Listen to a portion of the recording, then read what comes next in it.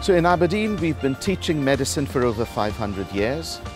At the School of Medicine, Medical Sciences and Nutrition, we aim to provide a really stimulating environment where everybody can achieve their full potential. Through our innovative teaching and our groundbreaking research, we've had a global impact on health and healthcare.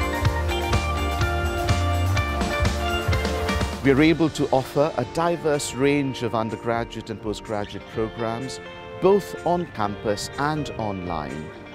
And our academics are at the cutting edge of translational research. In Aberdeen, we believe in nurturing talent and are committed to providing the best academic opportunities to those who want to come and study and work with us.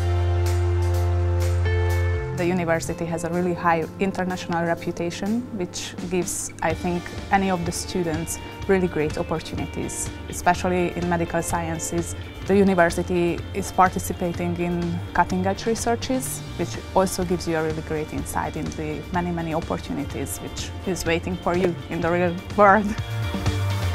Our courses are remarkably international. So we have home students, so people from the UK, but mixed in with that, currently we have students from the USA, we have students from the Middle East, we have students from Africa. So it's a really big mix and they all come together and we support them to the best that we can as well to help them get through their studies. I'm in my second year of a three-year PhD program. I've done my master's here as well, all part of the same big course of medical mycology and fungal immunology studies, and so far it has been great. The aim of the research at the School of Medicine, Medical Sciences and Nutrition is to continue to be at the forefront of all the scientific discoveries.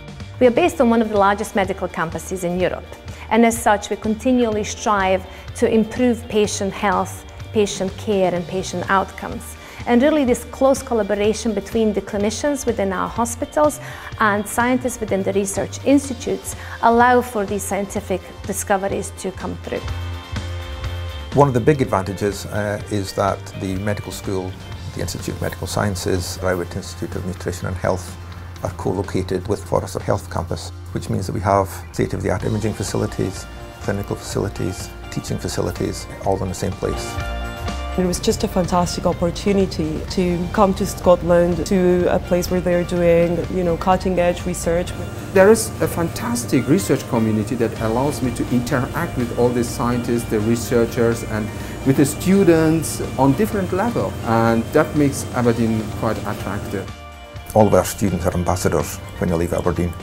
They all have University of Aberdeen on their CV. We want to make sure that they are the the best students that we can make them. It's just a great place to come and study. It's really vibrant. It's a really nice mix of people. The courses are being revamped all the time so that they're really up to date and the staff are really enthusiastic.